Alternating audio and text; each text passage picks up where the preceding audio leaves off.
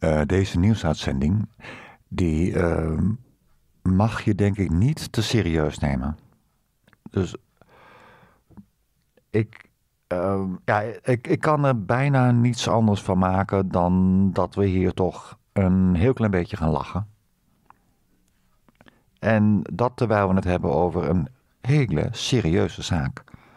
Want op Prison Planet van Alex Jones, je weet het wel, die website die met toestemming van de Jezuïeten van Amerika heus wel een artikeltje mag plaatsen. Uh, die zeggen dus dat de centrale banken die hebben hun kernmissie aangepast. Dat het nu ook uh, klimaatverandering inhoudt. Include. Uh, omarmt. En er staat hier een, een erg leuk commentaar bij van Mike Shetlock. En dat luidt, even een beetje groter maken voor jullie. Kan je goed meekijken. The Fed, ECB, Bank of England and Bank of Japan have now embraced climate change as part of their mission. It is bad enough that central bankers are clueless about inflation.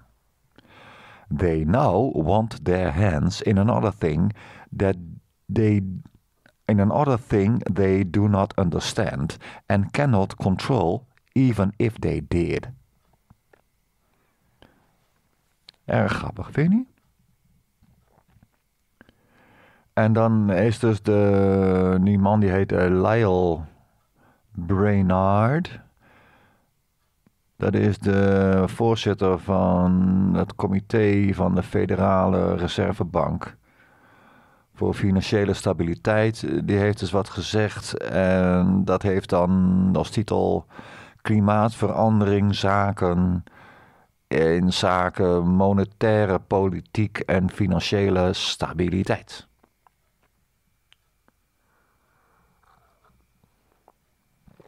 Ja, ja. Nee, daar word je gewoon helemaal gek, toch? Of niet? Even waar dit over gaat. Het gaat toch helemaal nergens over. Kijk, maar de Fed, om het uit te leggen, dat is de Federal Reserve Bank van Amerika.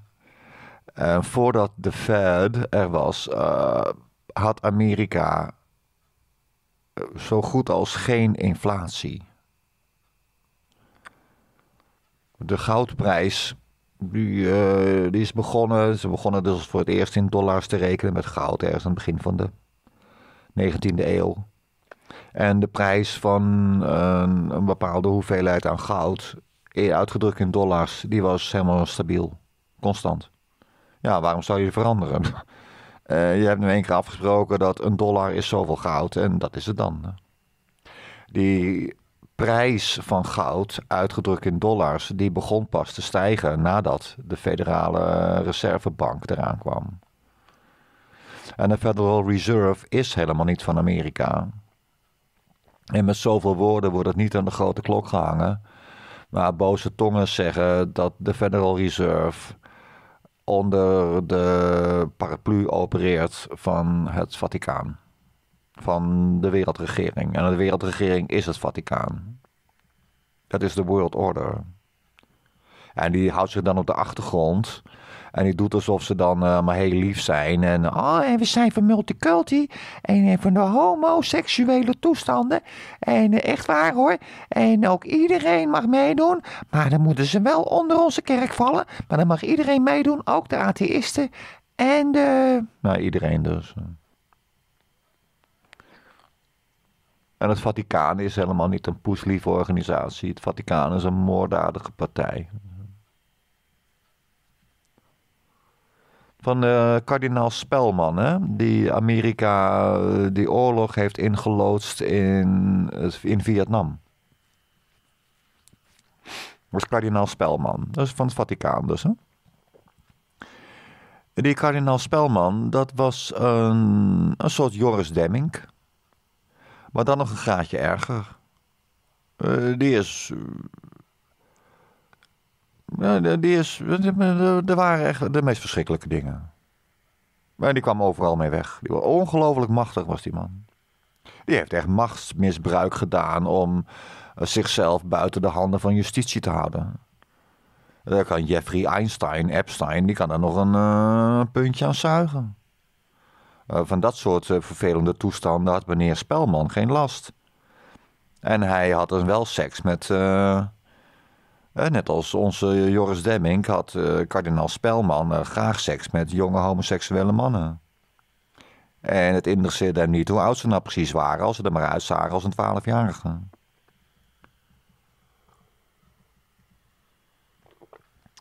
Jojo. Ah, dat is dus de Fed. En de, Fed, de Federale Reserve Bank, die is opgericht tijdens de, het kerstreces van de Amerikaanse regering. Ergens in 1911 of zoiets. Nou, de ECB is de Europese Centrale Bank. Dat net zo'n mistige organisatie. Wat doet die nou? Ja. Nou, de Bank of England, dat lijkt er nog een beetje de Bank van Engeland. Maar dat zal ook wel een bank van het Vaticaan zijn. En de Bank of Japan precies hetzelfde. En je hebt natuurlijk helemaal geen centrale bank nodig. Hè? Dat was in Amerika al heel lang bekend. Dat een centrale bank, dat je dat niet nodig hebt. Je hebt een overheid en die, die drukt geld. En afgesproken was dat de overheid, die mocht dus geld drukken voor zover ze dat echt in handen hadden. Dus toen werd dus die dollar, die werd gedekt met goud. Nou, en dan kreeg de overheid kreeg dan extra goud binnen met de belastingopbrengsten. En dan konden ze daar weer extra geld van drukken. Zo werkte het. En de overheid kon natuurlijk ook zonder meer besluiten om geld bij te drukken voor bijvoorbeeld infrastructurele werken. En dan veroorzaak je weliswaar inflatie. Maar die inflatie wordt dan mm, vergoed met het feit dat de infrastructuur sterk verbetert. Dan is de inflatie niet erg. Want dan krijg je er een brug of een nieuwe snelweg of een nieuwe treinlijn, hoe noem je dat? Spoorbaan voor terug.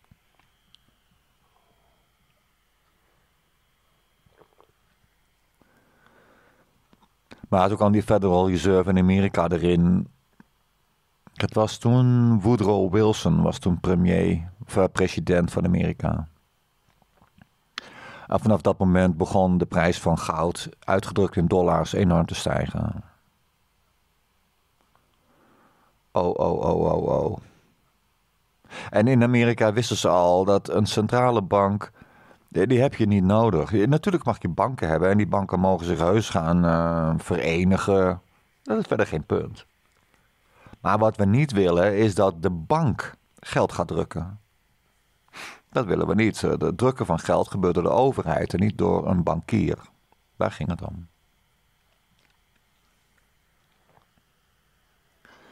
Maar ja, dat hebben ze zich in Amerika niet zo aan gehouden. Nou, nu heeft Amerika een enorme staatsschuld. Iets wat dus ook helemaal niet klopt.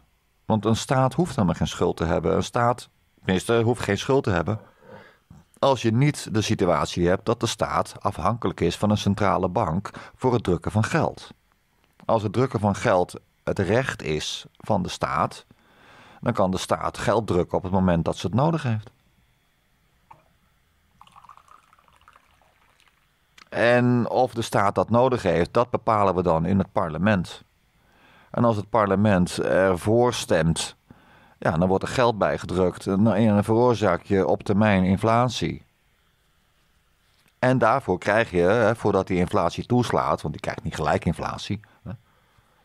Maar voordat die inflatie toeslaat, krijg je dus eerst dat, dat bijgedrukte geld, dat, daar worden dan dus dingen van gerealiseerd een dijk en een autosnelweg. En, en dan krijg je maar mooie dingen. Ja, en dan is het ook niet erg dat de prijs van brood wat gaat stijgen. Want iedereen kan dan beter, sneller, efficiënter gaan werken.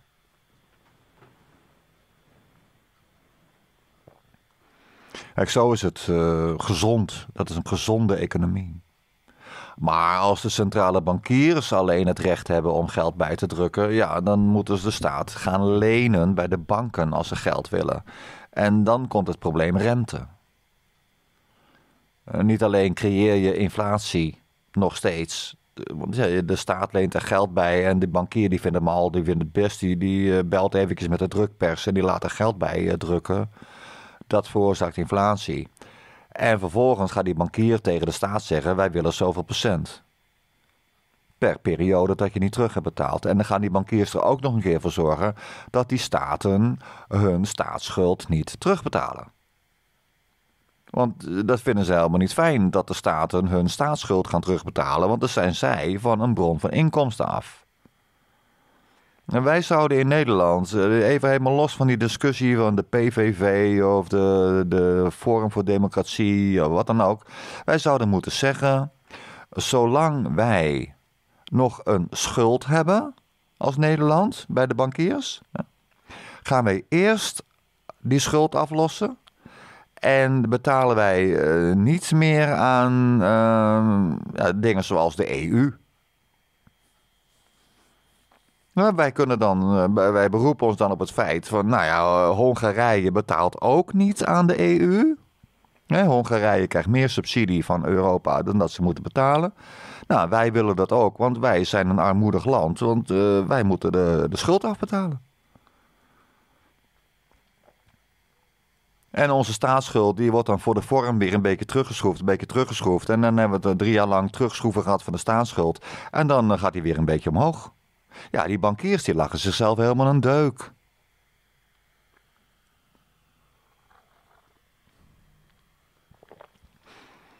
En wij moeten afspreken dat onze staat geen schuld meer heeft. Klaar.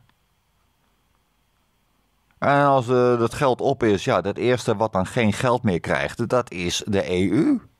Onder het motto eigen volk eerst. He, onze bejaardentehuizen, onze ziekenhuizen eh, en dat soort instanties, dat zijn de aller, aller, allerlaatste op de lijst die geen geld meer krijgen. En als eerste krijgt de EU geen geld meer. En dan beginnen wij te kijken met andere overheidsinstellingen die helemaal geen nut hebben, zoals Defensie, waar we niks aan hebben. Door de laatste dingen die Defensie hebben gedaan, dat was dat onzinproject in Joegoslavië. Een beetje uh, lopen nachelen in Irak. En een beetje klootviolen in Afghanistan. Nou, daar houden we gewoon helemaal mee op. Ik heb die jongens hebben geen geld meer voor. JSF? Nee, sorry, poen op. Gewoon klaar. Geen staatsschuld meer. Dat is toch duidelijk? Als, als jij getrouwd bent en jij verdient elke dag heel fijn geld voor je gezin en jouw vrouw gaat allemaal leningen afsluiten, dan zou je het toch ook niet goed vinden? En dan kom je thuis en dan staat er een hele mooie nieuwe huppeltje pup en zo. En dan denk je, hé, hey, heb ik dat allemaal verdiend? En dan zegt je vrouw, nee, nee, ik heb een lening afgesloten. Er was een man, die was hier aan de deur. En die, uh, nou, die zei dus dat uh, dat heel goedkoop was, zo'n lening. En uh, nou, dan kon ik ook gelijk het geld krijgen. En toen dacht ik, nou, dan ga ik die spullen kopen. Dan word je toch hartstikke boos, of niet? Of je nou een man bent en je vrouw heeft een lening afgesloten. Of dat je een vrouw bent en jij verdient alles en je man heeft een lening afgesloten. Maar in beide gevallen word je toch pislink? Dat is de bedoeling niet van een, uh, van een overheid. Om te gaan lenen. En dan maar geen subsidie meer voor de homo-integratie. Dat is een jammer.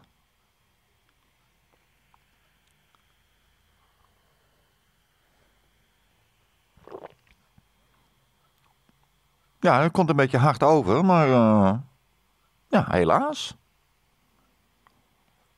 Ik vind ook dat homo's uh, integratie, dat, persoonlijk uh, vind ik dat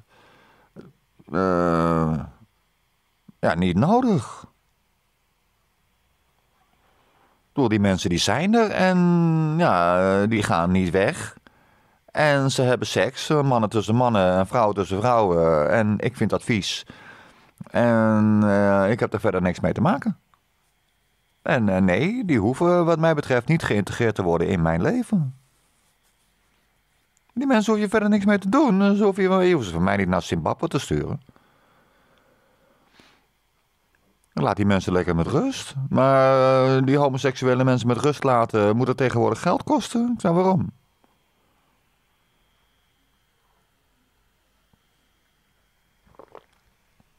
Dan moeten die mensen weten wat ze doen met hun seksleven. Dat vind ik dat iedereen dat maar moet weten. Maar kom vooral niet klagen bij mij over dat je ontevreden bent over de manier waarop andere mensen denken over jouw seksleven. Wat is dat nou weer? Ik heb nooit iemand verteld van mijn seksleven. dus als jij zou vragen van, goh, ken je Perry Winkel? Mensen zeggen, ja, die ken ik. Oh ja, is dat een homo? Mensen zeggen, nou, hij heeft het nooit over gehad. Nee. Nee, want ik praat niet over mijn seksleven. Ik ga binnenkort een uitzending houden over seks, dat wel. Maar je moet niet lullen over je seksleven. En dan gaan de bankiers gaan zich nu dan uh, bemoeien met uh, klimaatverandering en monetaire politiek. En financiële stabiliteit.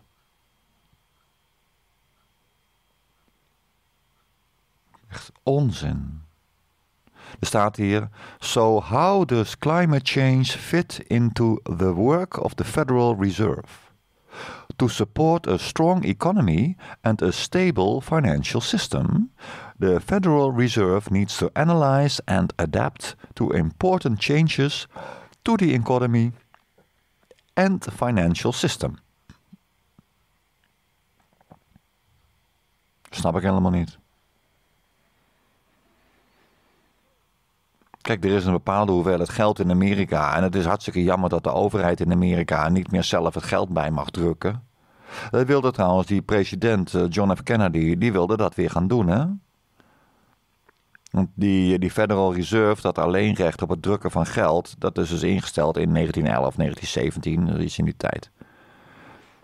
En John F. Kennedy wilde dan eind jaren 50, begin jaren 60, eh, die wilde de boel weer terug want we gaan weer onze eigen centen drukken. Dat, hoezo besteden we dat uit aan een buitenlandse, uh, aan vreemde mensen? Die niet van de overheid zijn. En waarvan we nu weten, dat is het Vaticaan.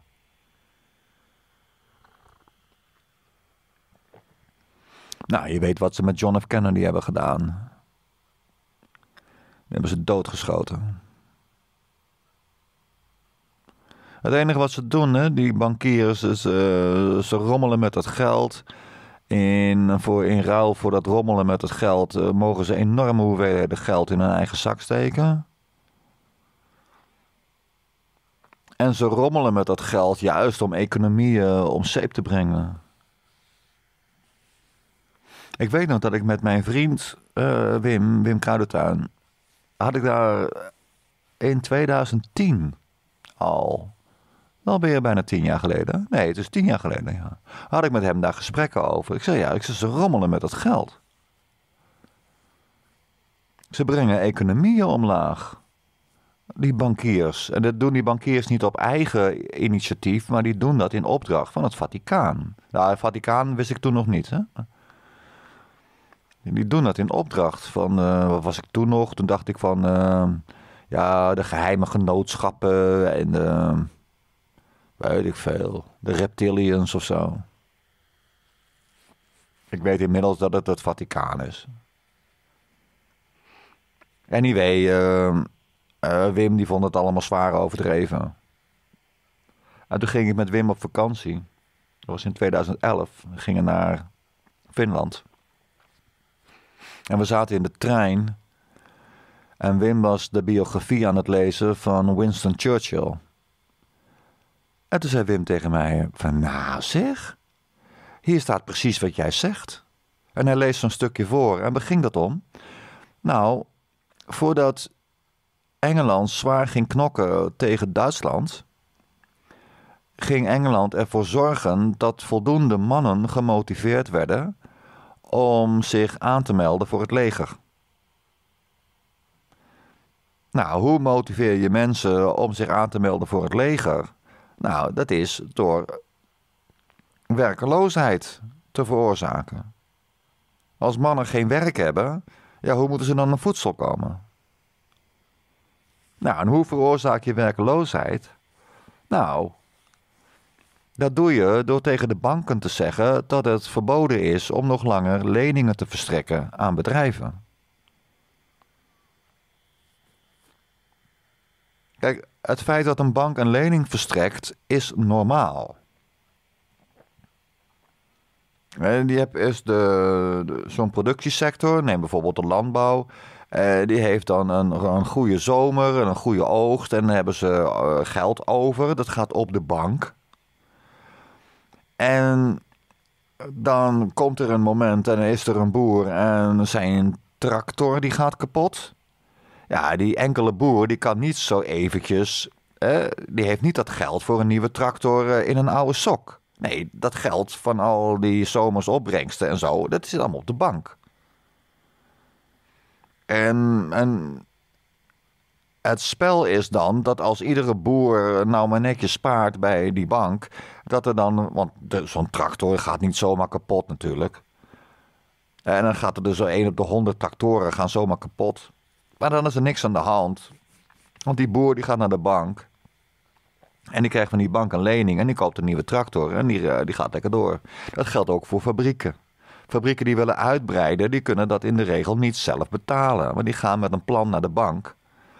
En dan zeggen ze, nou, we gaan die machines vervangen, dat en doen, blablabla. En dan de bank die stopt er geld in. En dan gaat zo'n bedrijf aan de slag. En die houdt de business draaiende. En als je de banken gaat verbieden om leningen te verstrekken, ja, dat heeft een verschrikkelijk gevolg voor je productiesector. Die productiemiddelen heeft.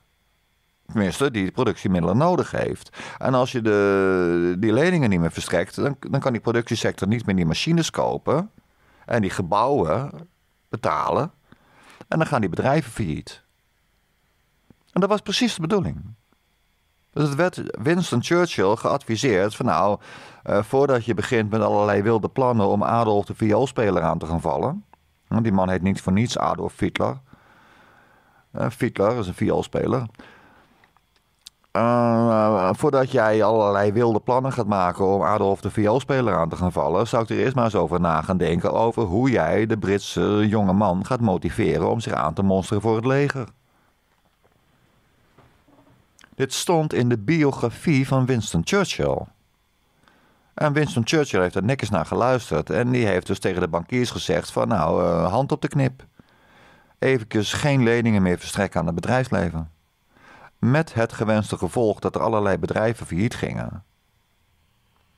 En het gewenste gevolg dat er een hele sterke werkeloosheid kwam.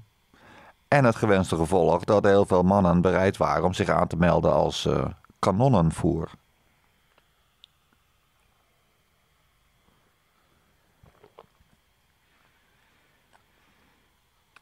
Ja joh, dat is dit was ook in de, ehm, in de tijd van de economische crisis aan het begin van de 20e eeuw.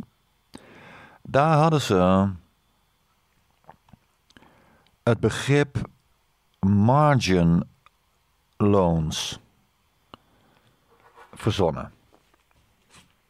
En een margin loan, even, die andere moet ik even opschrijven. Die vergeet ik altijd. Het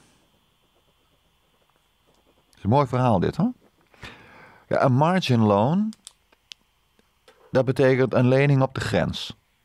Letterlijk. De margin, de marge is de grens. Nou, de margin loan die werd verstrekt aan mensen eh, die eigenlijk een dergelijke lening niet waard waren. Normaal gesproken zouden ze die lening niet kunnen krijgen. Maar ze konden hem wel krijgen als ze zouden tekenen voor een margin loan dan konden ze wel dat geld krijgen. En het verschil tussen een margin loan en een gewone lening was dat een margin loan die kon op een willekeurig moment door de bank worden ingetrokken en dan moest jij in één keer terugbetalen. En zo niet, dan werd er beslag gelegd op je bedrijfsmiddelen. Nou, en hoe werkte het dan? Dan kon dus Jan en Alleman die kon naar de bank gaan en die kon een lening krijgen en die kocht bijvoorbeeld een taxi. Ik zeg maar wat. Hè? En op een bepaald moment En er waren dus allemaal kleine bedrijfjes die uh, allemaal, lekker, allemaal lekker met de taxi en uh, andere dingen. Je kan ook een naaimachine kopen. Of, allerlei machinepark, productiemiddelen, zeg maar, werden er aangeschaft. En mensen waren heerlijk aan het ondernemen. En met de economie ging het reuze, reuze leuk, hè? En toen zei de bank op een bepaald moment: wij trekken al die marginale grensleningen, die trekken we in. Niet één, nee, zo'n beetje allemaal. Nou, die mensen die waren heel erg verrast dat die margin loan in ene werd ingetrokken. Allemaal. En die mensen konden niet in één keer die lening terugbetalen. Op die bank zei, ja, dat maakt niet uit. Dan pikken wij je productiemiddelen in. Dus eerst lieten ze die economie opkomen met het verstrekken van die margin loans. En toen bliezen ze op een fluitje en toen trokken ze al dat geld weer in. En raakten al die mensen, die raakten hun bedrijfsmiddelen kwijt. En knalde de economie in elkaar. En dat was de oorzaak van de economische crisis. Ergens in de jaren twintig. Nou, wat gebeurt er nou aan het begin van de 21ste eeuw? Daar werden hypotheken verstrekt. En die heette subprime mortgages. En subprime, uh, sub betekent ook al uh, minder, ja? En prime is dan prima. Dus uh, het waren hypotheken, mortgages, een hypotheek. Het waren hypotheken en die waren niet helemaal prima. Zo heten ze. En iedereen kon een subprime mortgage krijgen. En de grap daarvan was, is dat ze die eh, hypotheken, die, daar werden financiële producten van gemaakt. Er werden verzekeringen over afgesloten. En die financiële producten, die werden verkocht aan met name Europese banken. En Europese banken die verkochten dat weer door bijvoorbeeld aan Italiaanse overheden, steden. Er zijn Italiaanse steden geweest en die hebben die financiële producten gekocht. En ze betaalden heel weinig en dan kregen ze een product en dat was heel veel waard. Maar de waarde die dat waard was, dat was alleen maar de, de waarde van die hypotheek. En die hypotheek was verstrekt aan mensen die dat echt niet terug konden betalen. Ja, en zo kwam de crisis van 2008 door.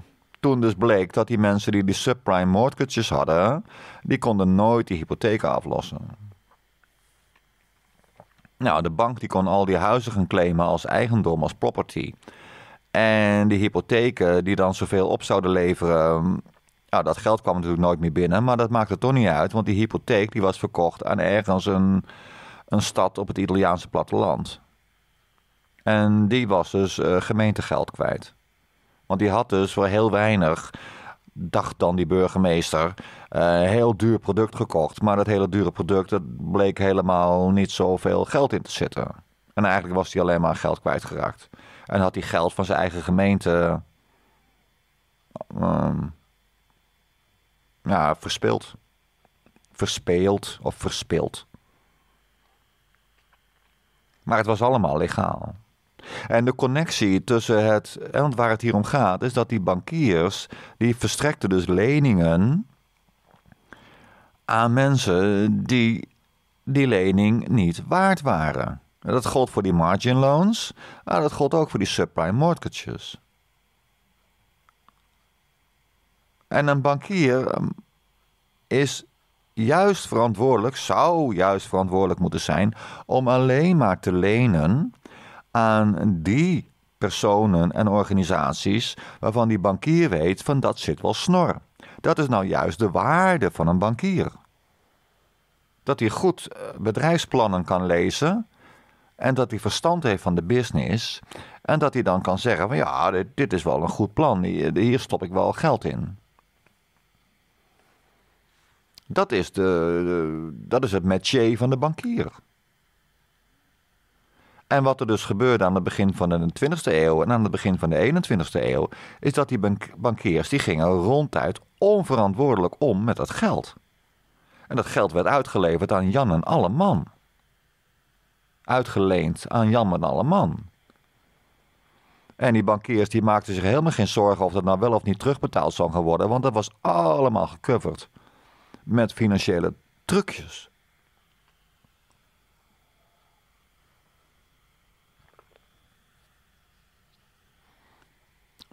Wij zijn ongelooflijk veel geld kwijtgeraakt aan de bankiers. En de bankiers die hebben gehandeld in opdracht van Rome.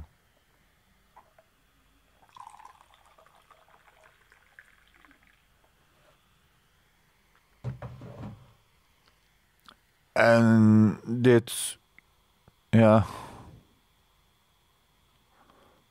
Ja, het idee van een, een, een valuta. Ik moet gaan afronden hoor, want ik, zal, ik heb nagedacht over hoe het nou zit met geld en hoe moet je dat nou eerlijk oplossen. Hè? En dat zit dus als volgt in elkaar. Um, gaat hier eventjes wat mis. Kijk maar naar het scherm, dit gaat helemaal mis. Kijk, hoe het, het zit heel eerlijk, uh, heel oneerlijk in elkaar. En hoe je het eerlijk oplost, is dat je gaat werken met zoiets als een LEDS-systeem. Dat is alles wat je nodig hebt. Dus iemand doet wat voor een ander en dan heeft zo iemand een schuld. En die, diegene waarvoor iets gedaan is, die heeft een schuld. En zo iemand die een schuld heeft, die moet die schuld gaan inlossen door weer wat te doen voor een ander. Dat is alles. Er hoeft in principe ook helemaal geen geld aan te pas te komen. Dat kan allemaal met de computer worden geregeld. Het enige punt is uh, dat je erop toe moet zien dat mensen niet allerlei dingen voor zich laten doen, terwijl ze nooit een keer wat terug doen. Dat is het enige.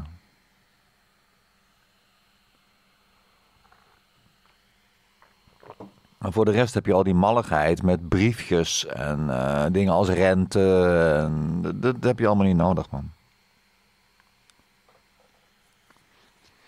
En we zouden een wereldwijd LEDS-systeem moeten hebben. En ook wereldwijd afspreken dat er dat er één valuta komt, als een basisvaluta. Net zo goed als dat je één uh, maat hebt voor de lengte, dat is de meter. En per regio heb je verschillende koersen.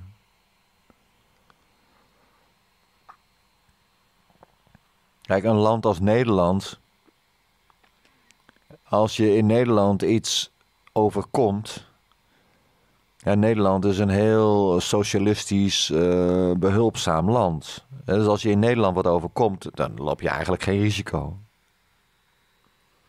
Maar als jou in Nigeria wat overkomt, uh, ja, dan gaan ze zich niet echt om jou bekommeren. Datzelfde geldt ook voor, uh, ja, voor wat meer ontwikkelingslanden. Als jij daar half ligt te caperen, dan kijken ze je aan van ja, wat moeten wij met je? Hè?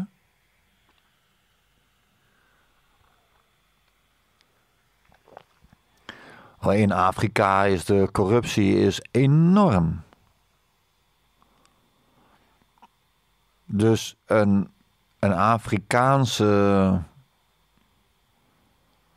Een Afrikaanse valuta is uitgedrukt in de gemiddelde wereldvaluta minder waard dan een valuta van een land waar geen corruptie is en, waar mensen een sociale inborst hebben. Ja, beter gezegd, eh, als je 100 credits hebt op een Nederlandse bankrekening, dan zijn die 100 credits in Nederland meer waard dan uh, zoveel credits op een Nigeriaanse bankrekening.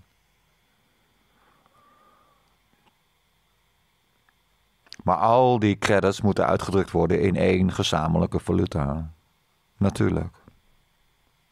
En die valuta moet staan voor, ik zou zeggen, uh, de kosten van één mensenleven ja, de kosten van één mensenleven. Dus wat kost een mens om te leven van wieg tot graf? Dat kost dan zoveel. En, nou, dat bedrag en dat deel je door 1 miljoen. Zo. En dat noem je 1. 1 terra of zo. Ja, terra van aarde. Dat is 1 terra.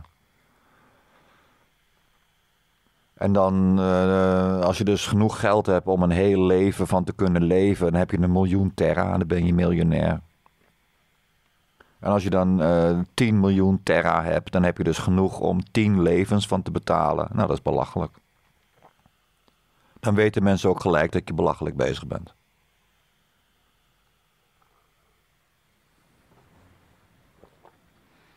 En dan is één florijn in, in Nederland. Één florijn is dan uh, net zoveel waard als uh, twee of drie of vier terra. Terwijl een, Nigeriaanse dollario, die is maar uh, een half terra. Snap je hoe ik het bedoel? Zo zou het moeten. En dat regel je dan met een wereldwijd computersysteem. En dat was 30 jaar geleden ondenkbaar. Nou, dat was 80 jaar geleden ondenkbaar. Het was in de jaren 80 was het al denkbaar. Maar toen hebben ze het niet gedaan. Het is ook een. een je, je kan ook verzinnen dat wat we nu dan die bankiers noemen, en die zijn nu dan zo machtig, hè? Dat is straks afgelopen. Ik zeg niet dat dat morgen is, maar er komt een moment en dan is een bankier een beroep. En dat is niets meer als een investeringsadviseur. Dus jij hebt dan meer gewerkt dan je nodig hebt om op te eten. En dan heb je geld over op je spaarrekening. Of je geld over. En dan ga je naar een investeringsadviseur. En dan geef je hem haar dat geld. En dan zeg je, nou, ga maar investeren. Investeer dat maar voor mij. En dan wordt het geld van jou, samen met geld van andere mensen dan natuurlijk. Ja, er wordt geïnvesteerd in een onderneming. En dat levert dan weer zoveel op en daar krijg jij dan weer je deel van. En het enige wat een bankier dan moet doen in zo'n geval, is verstand hebben van uh, waar je in moet investeren. Meer niet. En niet meer dat je als bankier gaat bepalen hoeveel geld er in omloop mag zijn.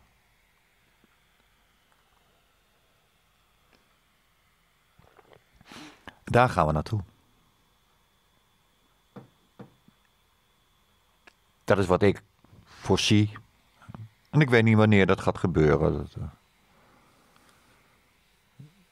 uh, voorlopig is het nog zo dat de mensen die erg rijk zijn, die zijn daadwerkelijk erg rijk. Die, die zijn zo rijk dat als wij zouden weten hoe rijk ze zijn, dan zouden wij stijl achterover vallen en denken van jeetje, zo rijk zeg. Maar dat, nou, dat vind ik echt crimineel rijk. Dus die mensen houden hun rijkdom verborgen. En dat geldt zeer zeker voor het Vaticaan. Avro Manhattan, Avro Manhattan, die heeft een boek geschreven en het heet The Vatican's Billions. De, kijk, de miljarden van het Vaticaan. En er heeft iemand al gezegd van nou, dat boek van Avro, Avro Manhattan, uh, dat heeft niet helemaal de goede titel. Dat had moeten heten de Vatican's niet billions, maar trillions. Oftewel, niet de miljarden van het Vaticaan. Nee, de biljoenen van het Vaticaan. Het Vaticaan heeft ongelooflijk veel geld.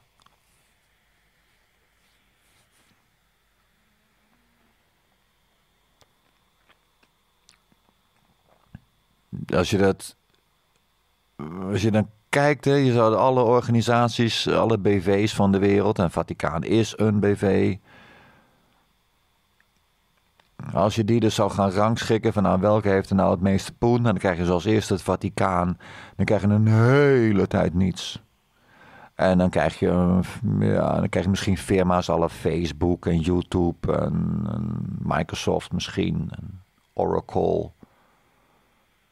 En uh, een autofabriek ergens, maar uh, echt niet veel. En dan wat landen. Maar dus, ja, het Vaticaan is dan al honderd keer zo rijk als de eerstvolgende op de lijst.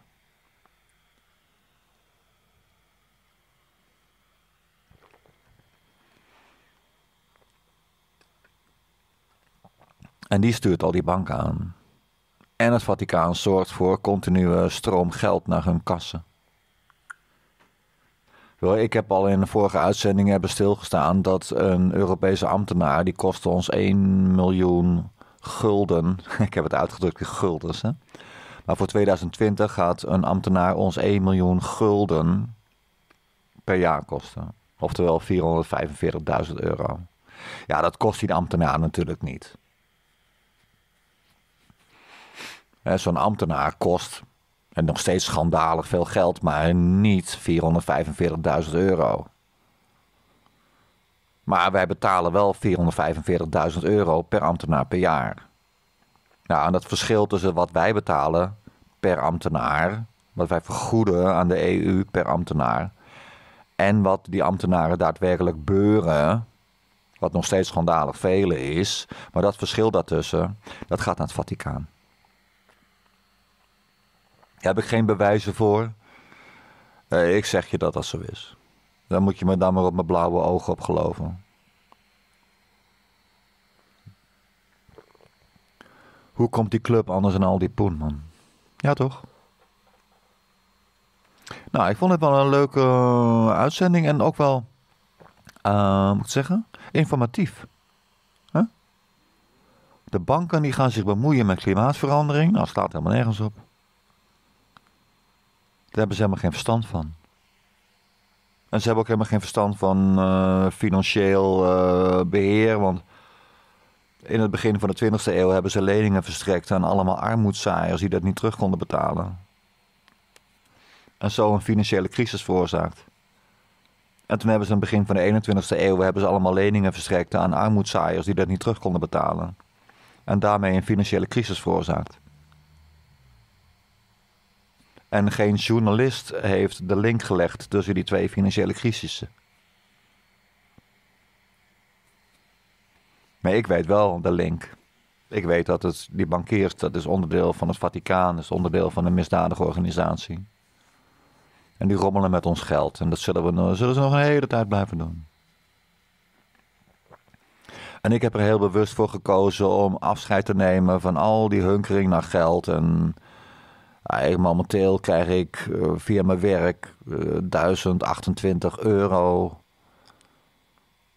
per maand. En dan krijg ik nog 250 euro uh, zorg- en huurtoeslag. Nou, dat is dan bij elkaar 1260, 70 euro. Nou, daar, daar kan ik van leven. Dat is geen vetpot, maar ik kan daarvan leven.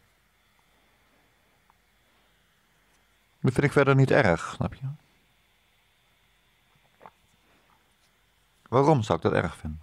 Ik was toch nooit gehecht aan spullen. En, en de spullen die ik heb, daar ben ik heel zuinig op. En ja, wat heb ik nou nodig?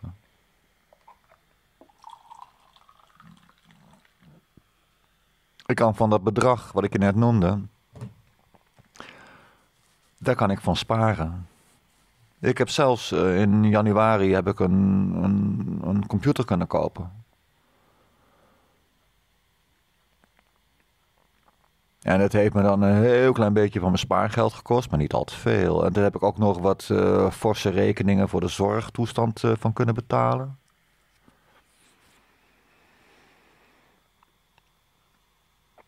Nou, een computer kopen hoef ik voorlopig dus niet te doen.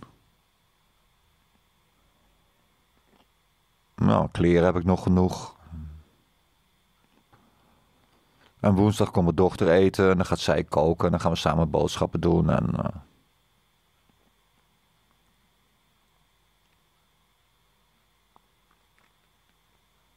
En dan betaal ik. En dan eten we lekker hier. Ik zou geen geld hebben om mijn dochter nou mee uit eten te nemen.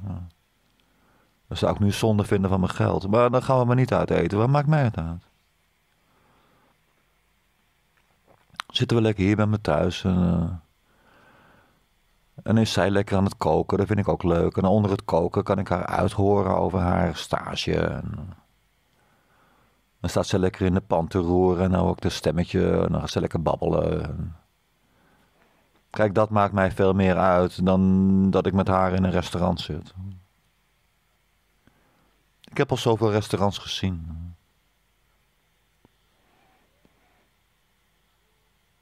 Dat is misschien ook de leeftijd, hè? Dat je dan eigenlijk denkt van, nou ja, ik, uh, ik ben er geweest, ik heb het gedaan en ik heb het t-shirt eraan overgehouden. Hè? I been there, done that, got a t-shirt. Maar ik kan het jullie ook adviseren. Dat geldsysteem, nee, ik, zou, ik zou me daar niet aan hechten. Wat je zou kunnen overwegen als je je geld veilig wil stellen voor, uh, voor je oude dag of zo. Hè? Dat je het dan belegt in goud. Maar ook daarmee kan je zwaar besodemieterd worden. Dus uh, pas ermee op. Het is een zuur bestek hoor. Als je uh, heel veel opzij hebt gelegd en heb je belegd in goud. En dan uiteindelijk is het uh, cashing time. En uh, jij bent 67. En je denkt, nou, dan ga ik nu een mooie reizen maken naar Thailand. En dan is het. Je denkt, hé, hey, de telefoon bij de bank die doet het niet meer. En dat was dan uh, Banco Il Nacionalos Ecuadorios of zo. Dan ben je al je poen kwijt. Maar ik zou er een beetje mee oppassen. Maar goed, dit was wel voldoende financieel advies, denk ik. Hè? En een beetje gelachen natuurlijk. Rare bankiers, wat denken ze wel niet? Alsof geld gelukkig maakt. De liefde voor geld is de bron van alle kwaad. Dus je moet helemaal niet van geld houden. Dat is de bron van alle kwaad.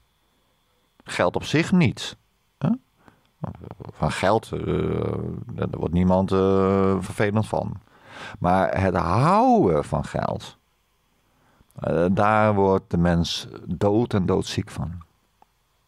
En op zijn hamburgers zet ik dan tegen jullie: Tjus! En dag, armoedzaaiers. ja, niet heus.